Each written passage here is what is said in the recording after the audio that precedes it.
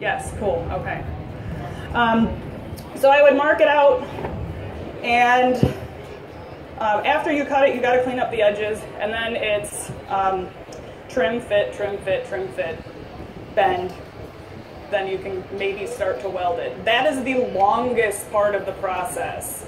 Um, the cutting out and everything, you feel like, okay, I'm getting ahead of steam, I'm good, we're, we're making progress. And then when you actually go to fit the piece, it can get really tedious and frustrating because you have to grind this spot and then this spot and then that one because it's just a little not straight just because of cutting tools and things. So um, it takes time, but the time spent doing the trimming and the panel prep is going to save you in the long run. So don't don't go too fast.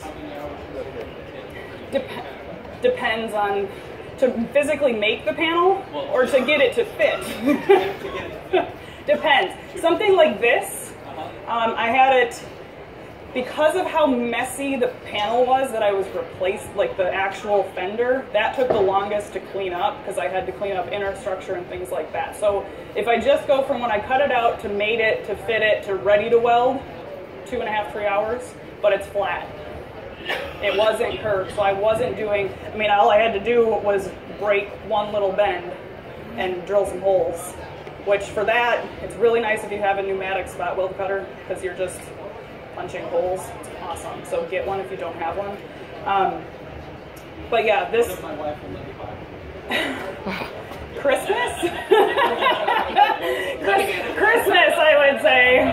I was that wife for a long time, and then I took over metal. And see, what you need to do is you need to teach her how to ah. how to work metal, and then she'll be like, "I need my own toolbox and all my own tools," because that's kind of what happened to me. And now I'm always bringing tools home, and he's going, "Why do you have that?"